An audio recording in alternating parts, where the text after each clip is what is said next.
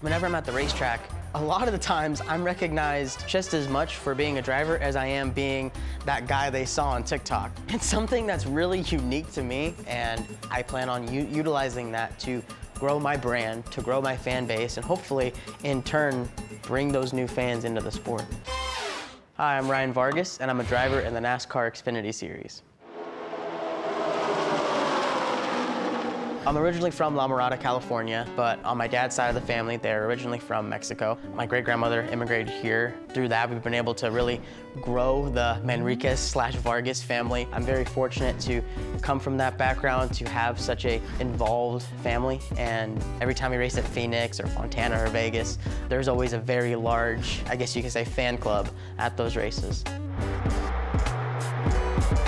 So I got started in racing because my dad was a big racing fan himself. From the very start, I was in love. And when I found out that kids could race, you know, in the Bandolero cars, I knew it was something that I wanted to do. And I knew that if I was gonna do anything competitively, I wanted it to be behind the wheel of a race car. Every day that I'm in racing feels like a dream come true. I never thought I'd make it this far. My mom is a first grade teacher. My dad is a construction worker. We come from such a unique and different background compared to many NASCAR drivers that, you know, the likelihood of me making it this far was very low.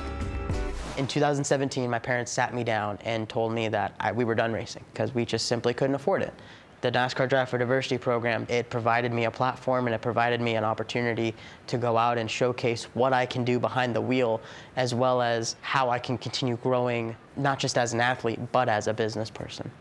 Is Ryan gonna let you sit in there?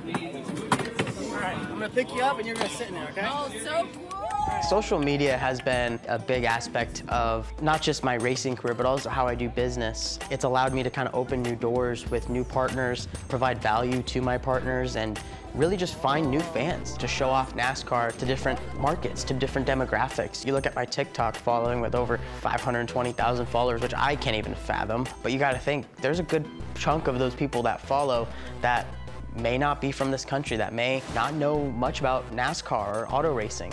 So if I can be someone who at least shows them, hey, there's someone who comes from a different background, and hopefully I'm doing the best part that I can to bring in new fans. I like showing people that, hey, I'm just a fan that just happens to drive race cars. Behind the scenes, I wear a lot of hats. I do my own marketing. I do my own social media running. I sell sponsorship. I help work on the car where I can. Uh, and on top of that, I also have to prep for races, uh, continue working out, maintaining a diet. It's helped me grow as an individual by wearing so many hats so that hopefully down the line when, where I don't have to do all of that stuff, it makes me respect it more. So this is my latest helmet. It has a sugar skull design, kind of to honor my heritage and Dia de los Muertos. On the sides, you see the little lightning bolt down the side, and that's to represent the scars that go down the side of my head.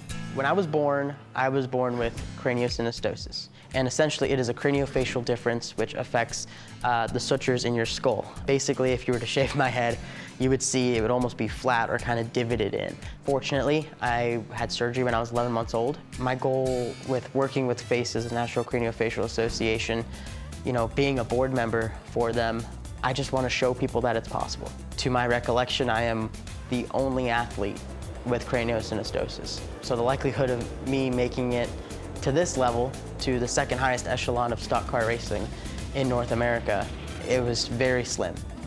So every day I look in the mirror and I see my scar, it's a reminder that I can do it. The fact that I've been able to meet so many incredible people who have pushed me to be a better person and to be better behind the wheel and to work with so many amazing people. I'm just very, very fortunate to be here.